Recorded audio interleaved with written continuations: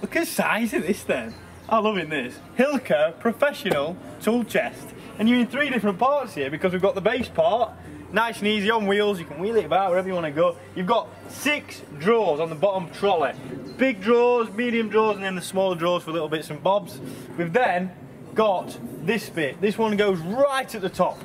This has got a, like a, a flap lid that'll lift up and down. You can put stuff in there. Again, another nine drawers. And then we thought, have we got enough? No, let's add another two drawers. This is an extra piece. They'll fit in between that, in between that, give you even more space. Six drawers, two drawers, nine drawers. You've got 17 drawers. You're massive, massive tool chest.